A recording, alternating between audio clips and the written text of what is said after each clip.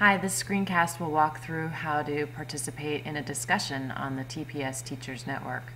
The first thing you want to make sure is that you're in um, the correct group and you can choose the group um, from the Groups tab. Click on My Groups and from the list choose the group for your institute.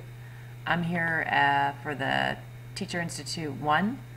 Um, I'll scroll down and you'll be able to see a lot of activity from this group. Um, but what I'm looking for here is the Discussions tab.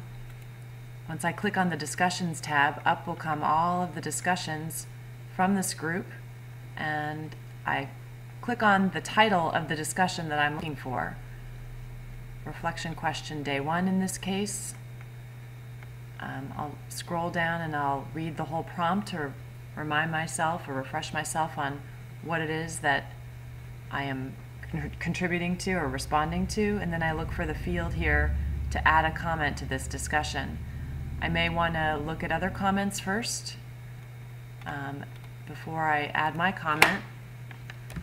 we'll just do a test comment. I click on the button Add Comment, and it tells me my comment was successfully added. So that's another great time to then scroll down, look at other comments, and perhaps reply to something somebody else has already contributed.